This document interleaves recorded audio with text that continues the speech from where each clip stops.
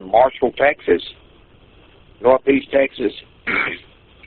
I took a photograph with my cell phone of a uh, object above and west of my house, and it had about six objects around it. And I thought at first it was the moon, but it, it looks like an afterburner, but there was no noise whatsoever. if you could give me a call, it was uh, back in June of uh, 2012, about uh, 9 o'clock at night.